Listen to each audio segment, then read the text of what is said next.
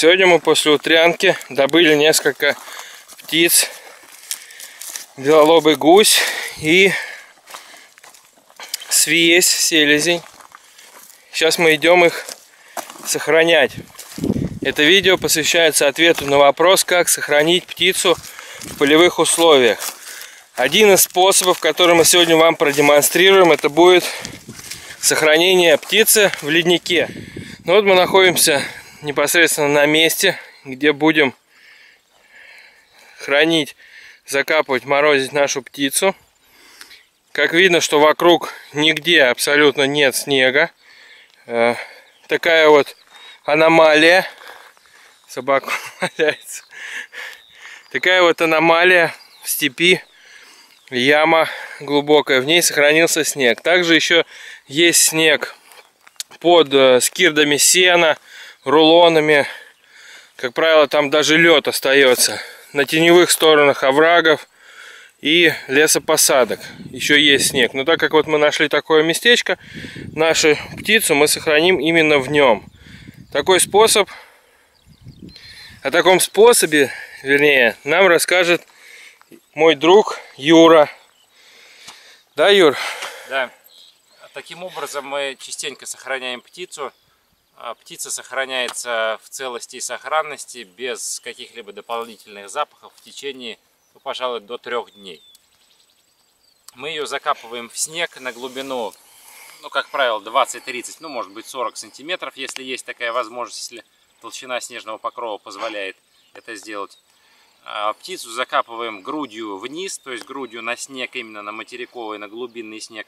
И даже в том случае, когда снег подтает на поверхности, у нас грудь и внутренности птицы все равно будут лежать на холодной льдине, на холодном снегу и останутся в сохранности. Поэтому мы сейчас заканчиваем наш разговор и приступим к делу. Начинаем выкапывать яму. Снег очень плотный. Да, в таких местах снег очень плотный, как правило. Главное не докопать до воды, иначе птица вся будет мокрая и щипать ее потом будет очень тяжело.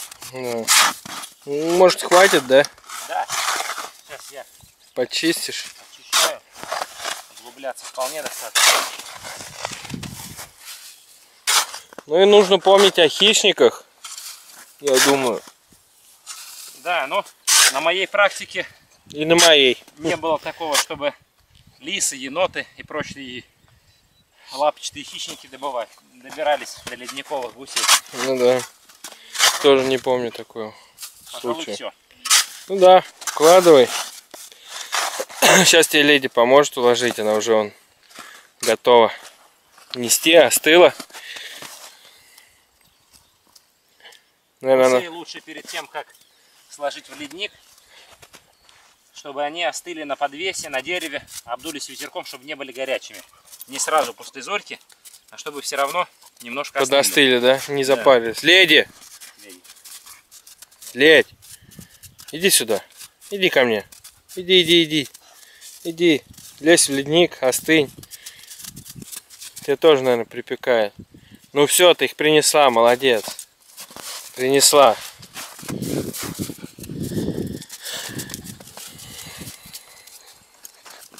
Полосатики принесла, да? Уточка. селезень свизи. Сегодня был добыт, честно, на маночек подманен, отработан. Очень хорошо. Оставь его. Ну что, приступаем. Да? Как я и говорил, укладываем грудью вниз.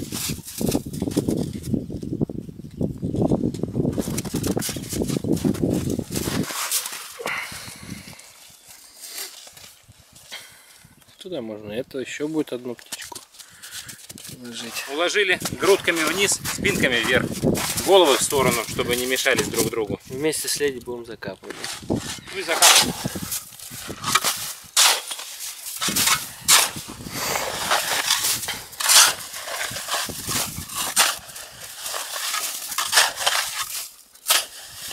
Нам вот лично в данном случае нужно птицу сохранить. Два дня, да. Соответственно, следующую добытую если будет таковая. Не будем закапывать. Федя, ну не раскапывай. Откапывать.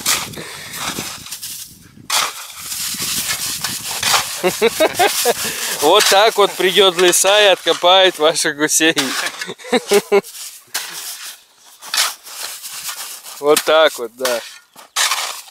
Или барсук.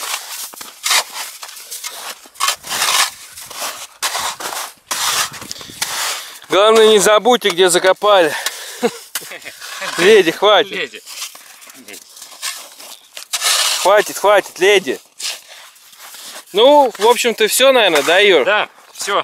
Один из способов. В принципе, закопали. Сейчас вот здесь еще где леди. Леди, ну, прекрати. Еще досыпать сверху с другого места.